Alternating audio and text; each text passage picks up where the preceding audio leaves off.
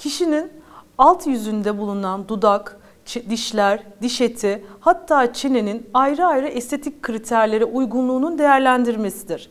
Bu dokuların her birinin ayrı ayrı estetik uygunluğu olduğu gibi birbirleri arasında da estetik uyumunun olması gerekir.